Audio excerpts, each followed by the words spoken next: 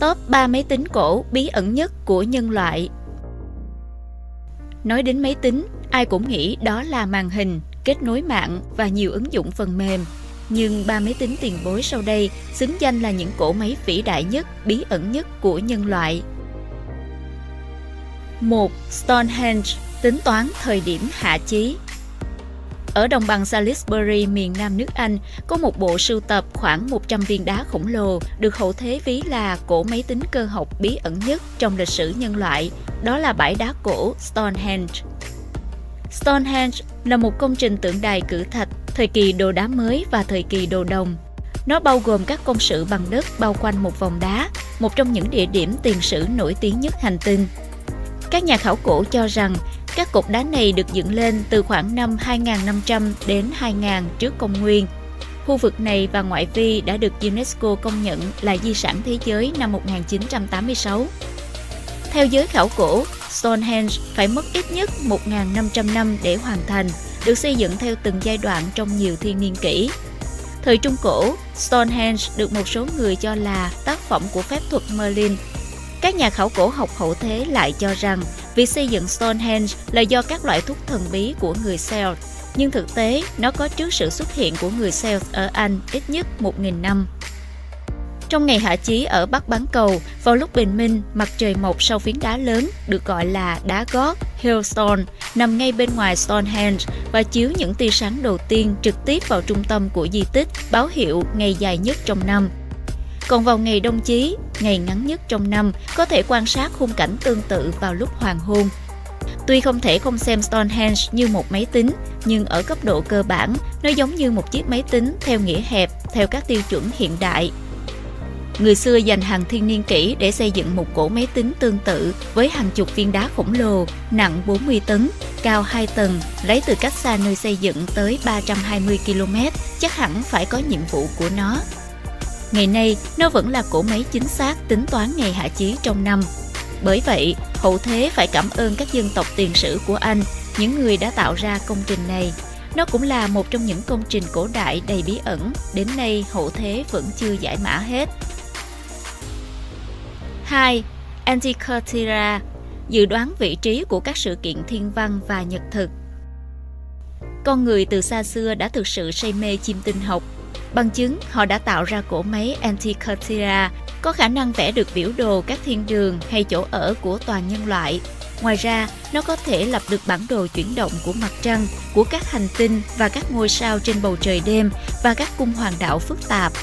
Nó tác động đến mọi thứ, từ quản lý của chính phủ đến các hoạt động tôn giáo và quan sát về không gian. Antikythera có hình dạng bánh răng, đường kính khoảng 140mm, đây là máy tính analog và mô hình hệ mặt trời cơ học phát minh bởi người Hy Lạp cổ đại, dùng cho dự báo các sự kiện thiên văn và nhật thực cho các mục đích về lịch và chiêm tinh. Nó cũng có thể được sử dụng để tính lịch việc đăng cai tổ chức Thế vận hội Olympic cổ đại 4 năm một lần. Nó được phát hiện vào năm 1901 trong một con tàu đắm cổ ngoài khơi đảo Antikythera của Hy Lạp có niên đại hơn 2.000 năm tuổi.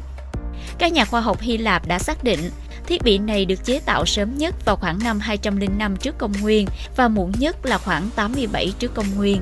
Được sử dụng phổ biến khi con tàu chở nó bị chìm vào khoảng giữa năm 70 và 60 trước công nguyên. Antikythera được đặt trong hộp gỗ 340 x 180 x 90 mm. Ban đầu được tìm thấy dưới dạng một khối, sau đó được chia thành 3 mảnh chính và hiện nay chia thành 82 mảnh riêng. Bốn trong số những mảnh này chứa bánh răng, chữ khắc được tìm thấy trên nhiều chi tiết. Bánh răng lớn nhất có đường kính chừng 40mm với 223 răng cưa. Theo nghiên cứu của hai chuyên gia John Mike Edmonds và Tony Fritz ở Đại học Cardiff, Anh, Antikythera thực chất là cơ chế đồng hồ phức tạp, bao gồm ít nhất 30 bánh răng bằng đồng chia lưới. Qua chụp các lớp X-quang hiện đại và quét bề mặt có độ phân giải cao, phát hiện thấy những chữ khắc mờ nhất ở vỏ ngoài của máy. Chi tiết cho thấy Antikythera có 37 bánh răng, cho phép nó theo dõi chuyển động của mặt trăng và mặt trời thông qua hoàng đạo để dự đoán nhật thực và mô hình quỹ đạo không đều của mặt trăng, nơi vận tốc của mặt trăng cao. Chuyển động này đã được nghiên cứu vào thế kỷ thứ hai trước công nguyên bởi nhà thiên văn học Hipparchus ở Rhodes và người ta đoán rằng ông có thể đã được tư vấn trong việc xây dựng cỗ máy này. Tất cả các mảnh vỡ được cho là của Antikythera được lưu giữ tại Bảo tàng Khảo cổ học quốc gia ở Athens cùng với một số tái tạo nghệ thuật, bản sao liên quan đến Antikythera. Bằng cách xoay mặt bên của vỏ hộp Antikythera, người ta có thể biết lịch Ai Cập và 12 cung hoàng đạo để dự đoán những gì sẽ thấy trong đêm vào một ngày nhất định trong tương lai. Nó thậm chí có thể cho biết ngày diễn ra các thế vận hội Olympic Hy Lạp cổ đại tiếp theo. 3. Pascaline, máy tính cơ học đầu tiên trên thế giới. Pascaline còn được gọi là máy số học, máy tính đầu tiên của nhân loại do Blaise Pascal, nhà toán học và triết học người Pháp, phát minh trong thời gian từ năm 1642 đến năm 1645. Blaise Pascal được nhiều người coi là một trong những nhà khoa học vĩ đại của cách mạng khoa học, xây dựng lý thuyết về mọi thứ, từ xác suất toán học đến khoa học khí quyển, Ông cũng có đóng góp lớn cho lĩnh vực máy tính thông qua Pascaline, được nhiều người coi là máy tính số học cơ học đầu tiên của nhân loại. Pascaline hình chữ nhật với một giao diện dựa trên bánh xe quay. Sản phẩm khá đơn giản, dùng cho việc cộng trừ các số liệu thông qua một giao diện. Tuy nhiên, trong khoảng thời gian 10 năm, Pascal đã sản xuất 50 máy giống nhau để phân phối cho nhiều người ở châu Âu dùng cho mục đích thương mại Ban đầu, Pascal tạo ra Pascaline để hỗ trợ cha mình trong việc tính toán thuế khi ông làm việc tại thành phố Rouen của Pháp. Vào thời điểm đó, bàn tính được sử dụng để tính toán nhưng rất chậm. Pascaline được ra đời cho mục đích này. Nó có dạng hình hộp chữ nhật dài khoảng 30m và cao 8cm. Bàn tính bao gồm một loạt các viên đá mà người dùng phải di chuyển từ bên này sang bên khác để có thể đếm hiệu quả. Trên đỉnh máy có 8 đĩa quay được chia theo số lượng đơn vị mà mỗi đĩa hoạt động. Trong mỗi đĩa có tổng cộng hai bánh xe, phục vụ cho việc xác định số lượng mà một cái hoạt động trong mỗi bánh. Trên mỗi đĩa có một số thay đổi theo cách đặt từng bánh xe.